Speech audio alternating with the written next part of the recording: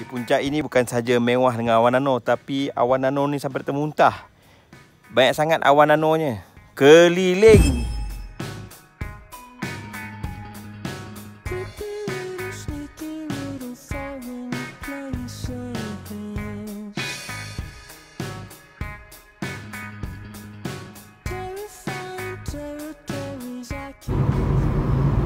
Perjalanan menuju ke puncak Monchem.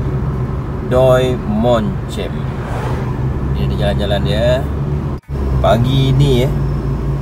Cuaca dengan berkabus pagi dan sejuk. Dah kabus ni sampai ke jam 10. Masih ada lagi. Jadi jalan uh, kena berhati-hati banyak seleko mendaki bukit.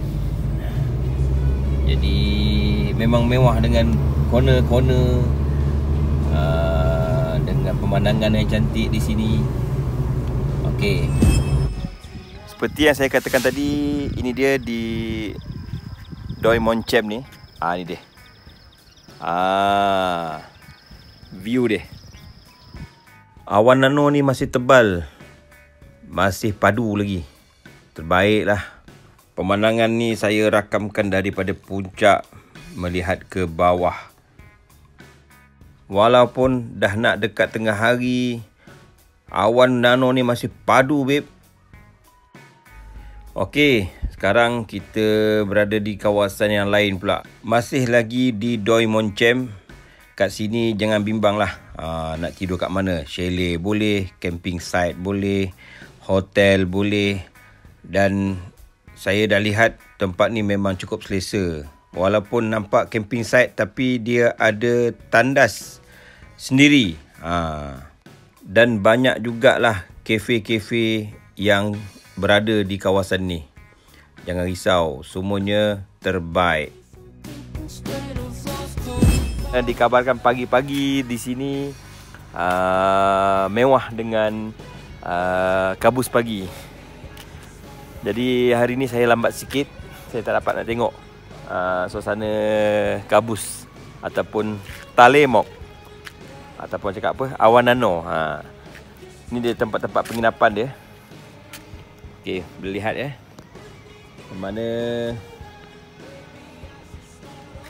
Lemon chem ini ah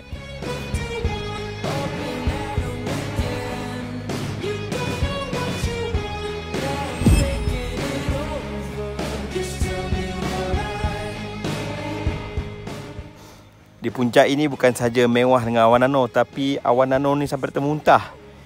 Banyak sangat awan nanonya. Keliling. Pukul keliling, cik. Kalau tak datang gugi sini. Pemandangan cantik, tempat pelancongan yang terbaik. Sejuk. Okey.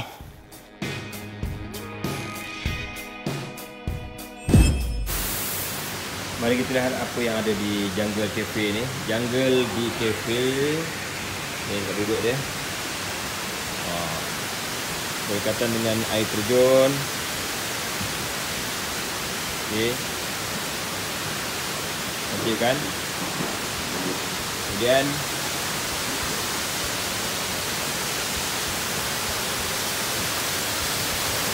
Itu dia.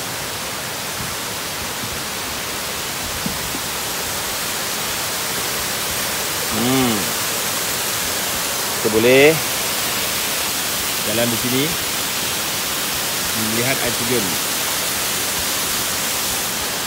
Baik. Okey.